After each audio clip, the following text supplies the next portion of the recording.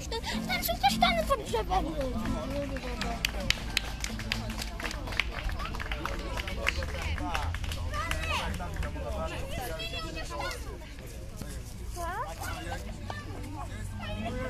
Dziękujemy!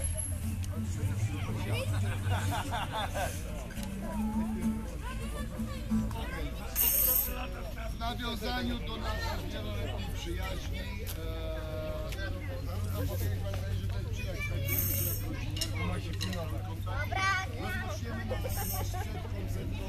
od piosenki Latania, która opowiada właśnie o przyjaźni, opowiada o wspólnym e, pokonywaniu przeszkód, e, trudów życia, o radzeniu sobie z tymi wszystkimi zawirowaniami, które się pojawiają po drodze, a żeby jeszcze podkreślić ten przekaz, że przyjaźń jest najważniejsza, wystąpi z nami Wiktor, nasz wieloletni przyjaciel.